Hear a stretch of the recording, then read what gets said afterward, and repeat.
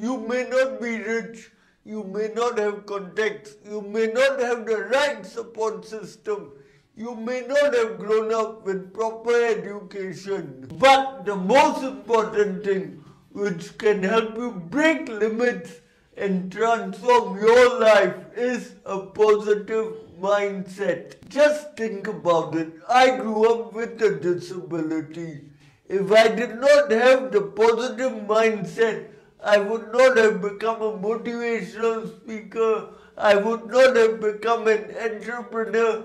I would have given up on my life and would have gone into depression. A positive mindset will boost your confidence and motivate you to fight your challenges so you can achieve anything in life.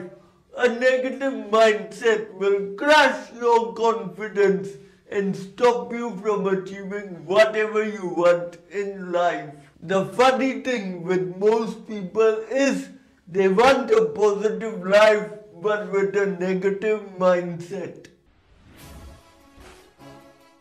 So everyone, if the video inspired you, remember to like, share, subscribe and hit the bell icon below.